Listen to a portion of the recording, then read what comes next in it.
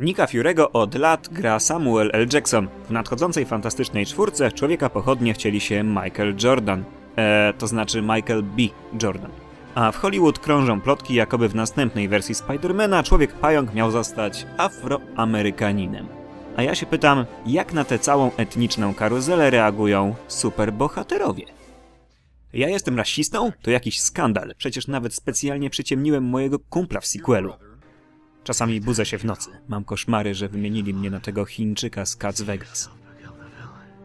Myślałeś, że będziesz Spidermanem na zawsze? Pamiętaj, Peter, z wielką kasą przychodzi wielka odpowiedzialność. No przepraszam, jestem z Kryptona. Jak to nie jest propagowanie różnorodności etnicznej, to już nie wiem, co nim jest. Podjęliśmy decyzję, że aby pokazać, jak bardzo cenimy różnorodność rasową, od teraz to ja będę Ironmanem. Amatorzy. U nas to dopiero była etniczna różnorodność. W obecnych okolicznościach zaczynam żałować, że jestem wysokim, umieśnionym, przystojnym blondynem. Myślisz, że uratuje cię to, że jesteś przystojny i lubią cię nastolatki? I tak twoją postać w następnym filmie zagra Denzel Washington. Myślisz, że będziemy mieć jakieś problemy przez tę nową politykę? Spokojnie, Charles. Przecież jestem Żydem. Spokojnie, nic mi się nie stanie. W końcu kto przy zdrowych zmysłach usunie z filmu ciało Scarlett Johansson? Słuchajcie, musimy coś zrobić. Co prawda najęliśmy już tego Francuza z nietykalnych, ale przydałby się jeszcze jakiś Latynos i Azjata. Jesteśmy w Nowym Jorku. Zaraz znajdziemy jakiegoś Żyda i Koreańczyka. My pomalujemy się czarną farbą i wszystko będzie w porządku.